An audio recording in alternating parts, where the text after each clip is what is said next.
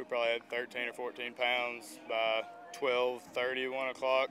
And uh, it was just kind of like yesterday. Yesterday we had a little bit better at 12 o'clock. Yesterday we probably had 16 or 17. And then at 1 o'clock or so, we started culling up and culling up. We just couldn't get that giant bite like some of these other guys did. Uh, like we never had anything really over five and a half, uh, you know, maybe six. And uh, if we'd have had one of those giants, it really would have bumped us, which doesn't matter now. But um, we just had a bunch of solid fish, and we were just afraid that yesterday we caught too many of those, you know, three and three quarter, four pounders. You know, just trying to cull up. We was just culling by ounces yesterday, and uh, we was really afraid that was going to kill us. And that's why today it was we probably didn't catch, but that's where yesterday we probably caught 40 fish. Today we probably caught 10. What do you think? Okay, on your home. Okay, yeah. Said it was meant to be. We uh, we called twice in the last 20 minutes. We had two called two four pounders in the last 20 minutes. So, I mean, just amazing. It's, it's awesome. What do you think? Uh, this, this considered your home water. Do you think that gave you any kind of advantage, or do you think that worked against you in your head, or do you think that played?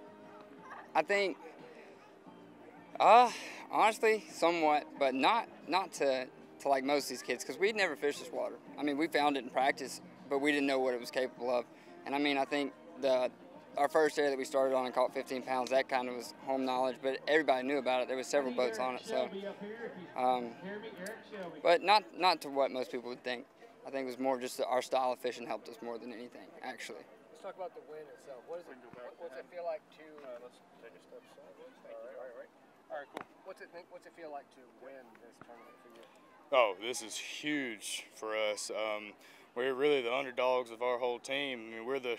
I'm from the Coosa River and he's from Smith Lake. That's two polar opposites, and you got Tennessee River out in the middle. And uh, our styles of fishing really clash with what you're supposed to do to win out here. And uh, but I really think that worked to our advantage. And we had we didn't really have a whole lot of boat pressure, you know, compared to what a lot of people had. Uh, you know, we didn't have to. We weren't crossing any lines, and uh, but um, but no, it, it was awesome winning today. Uh, we never expected, never expected this at all. Still hasn't set in. Still hasn't set in. It's awesome. Awesome. And you just brought it back to UNA. It's been a while. It's the first time ever. Uh, Time ever. Okay. nobody's ever done it uh, from UNA. We've had a bunch of second places and usually have a boat in the top five, but nobody's ever finished.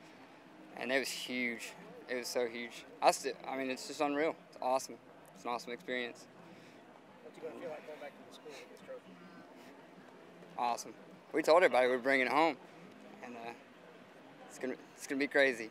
It's gonna be crazy. I mean, everybody was joking. You know how they have the pictures on the stage of the people in the past. They're like, that's gonna say Sloan and Hunter next year, and we were, just, you know, everybody's just joking because, like we said, we're the underdogs. Yeah, and it was just, it happened. It worked out, and it was meant to be.